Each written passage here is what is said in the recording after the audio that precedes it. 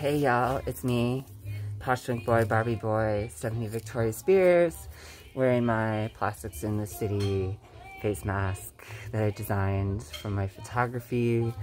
This is when they were protesting at the first Women's March, the day after Trump was inaugurated.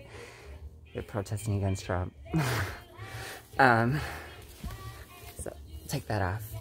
Hope you're all doing well. Listening to Rocking Around the Christmas Tree.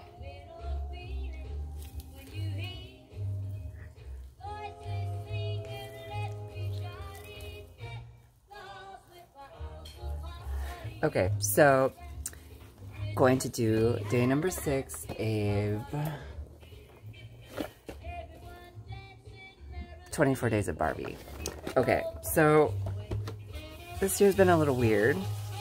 So far, we've gotten Barbie.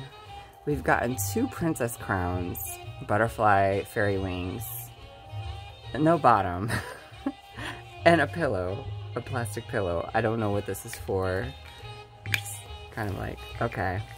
So I'm hoping that these um, treats, surprises get better as we go along each day. So let's open and see what day number six is. Oh, this is kind of fun. Something different, yes. It's a necklace. This is really cute. Yes.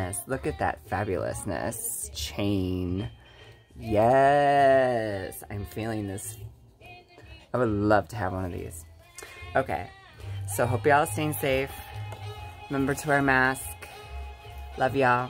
Spice up your life.